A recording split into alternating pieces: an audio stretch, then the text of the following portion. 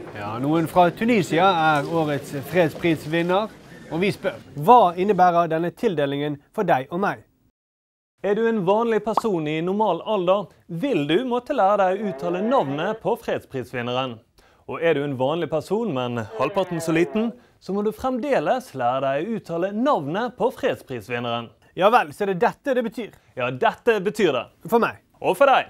Er du en av dem som kjører bil, så vil du også merke årets fredspris.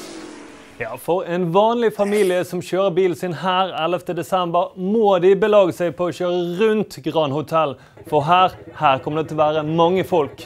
Ja, blant fredsprisens store vinnere er artister som var populære på 80- og 90-tallet. Mange av dem får anledning til å fremføre en siste krampetrekning på Nobelkonserten. Fullt så heldig er du ikke hvis du sitter her. Nytt på nytt tas nemlig opp på torsdag, og du må vitse om fredsprisvinneren uten å vite Hva eller hvem? det er. Helt til slutt, Sturle. Hvem er fredsprisens tapere? Ja, De store taperne i årets fredspris er de som kriger, som heller ikke får noe i år.